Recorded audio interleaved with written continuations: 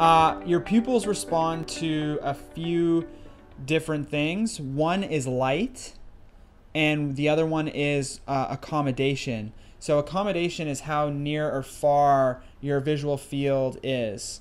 So if you're looking far away, your pupils may may dilate or open up, or if you're looking more narrowly, they may constrict, or vice versa. So your pupils will change in response to moving a different stimulus towards yourself or away from yourself.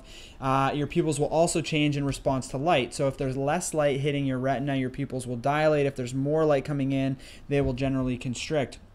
Um, the fact that your pupils are dilating in and out um, constantly since concussion, this is not a typical finding of concussion. This is a reflex.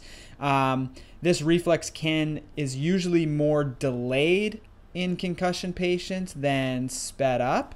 Um, but this can also be controlled by the patient. Whereas if you're focusing on something far away and then the physio or the PT looks in your eye and then all of a sudden it constricts, it may just be because you've gone from looking at something far away to looking at something closer to yourself. Um, so your your pupils will respond to changes in light and accommodation.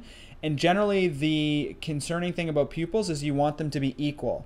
So if the pupils are both equal and they're dilating and constricting, that's all just in respect to how much light's coming in or how near or far you're looking at something at the time.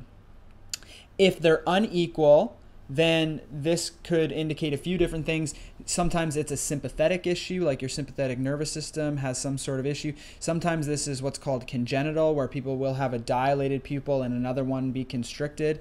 Uh, sometimes it's in relation to injury, so if you have damage uh, to um, to some of the nerves around your eye, one pupil can remain. Um, uh, dilated and the other one would be would be constricted. So there's a number of different possibilities. Generally, you want people's pupils to be round in shape. Okay, the the the, the acronym is called PERLA, P E is it R R L A? P yeah. Pupils equal, reactive to light and accommodation. Pupils equal, round, reactive to light and accommodation. So light when light comes in, they should constrict. When light is dim in darkness, they should dilate to try and get more light in so you can see better. And then also with respect to accommodation, meaning how far or near your visual focus is at that time. So as long as they're equal and round and they're reacting to those things, then that is normal pupillary response. If they're abnormal, if they're misshapen, if they're, you know, you would need further investigation on that. But just the fact that they're dilating and constricting it, it doesn't necessarily mean anything.